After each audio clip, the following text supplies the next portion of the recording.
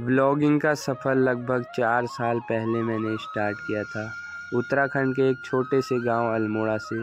आज वो चैनल मेरा यूट्यूब से डिलीट हो गया है।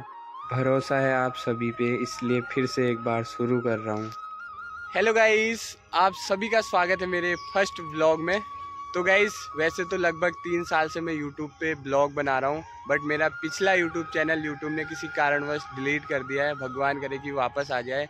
अभी मैंने मेल तो किया है गाइस तो ये मेरा फ़र्स्ट ब्लॉग इसीलिए मुझे बनाने की ज़रूरत पड़ी। तो आप सभी को इस फ़र्स्ट ब्लॉग में मुझे बहुत प्यार और सपोर्ट देना गाइस आप सभी को मेरे चैनल में बहुत ही मस्त मस्त ब्लॉग देखने को मिलेंगे। तो चलो गाइस मिलते हैं आपको नेक्स्ट वीडियो में। तब तक के लिए ओके बाय